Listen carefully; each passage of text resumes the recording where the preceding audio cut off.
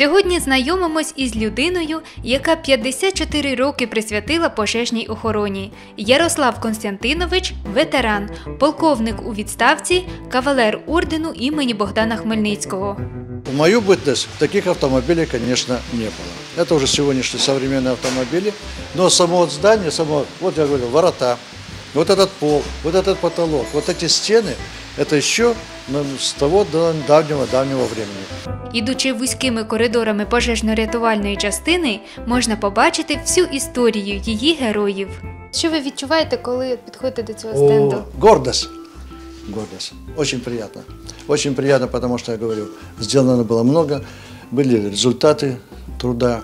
Ну, Я же говорю, что разве это мало, что вот э, часть, охраняющая Заводский район, является лучшей частью в Николаевской области. Мою увагу привернула ось ця світлина. Що таке дитяча юнацька добровільна пожежна команда? Чи є зараз таке?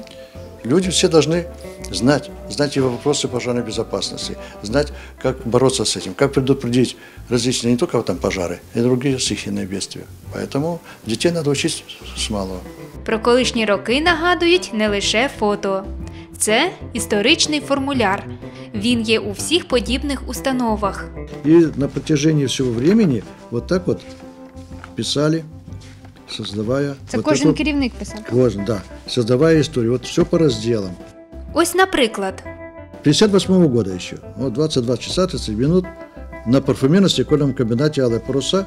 Вот это- и все это вот расписано к моменту прибытия пожарной охраны, как они тушили, все, вот.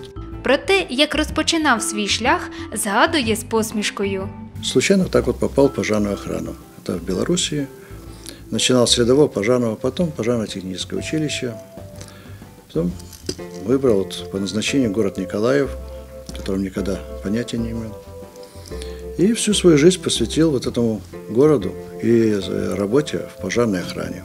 З 1972 року був керівником цієї пожежно-рятувальної частини. Тут і мешкав у службовій квартирі разом із дружиною та сином. Рос пацан вот так вот среди пожарных машин, среди личного состава там. И так. Ярослав Константинович став родоначальником цілої династії рятувальників. Сын тоже закончил пожарно-техническое училище, уже ушел на пенсию полковником. М, Внук тоже сегодня работает вот, спасателем в корабельном районе, майор уже. Так что вот так продолжаем, это великое дело. Чи доводилось вам виконувати професійні обов'язки поза межами Миколаївської області?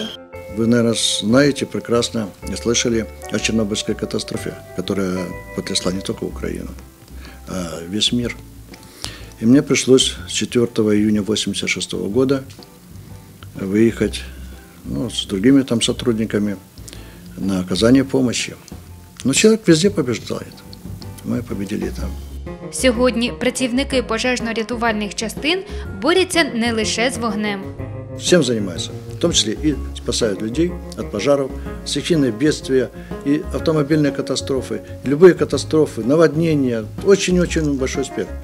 Для рятувальників людське життя найголовніше. Вони першими приходять на допомогу, вважаючи це не тільки професією, а й покликанням.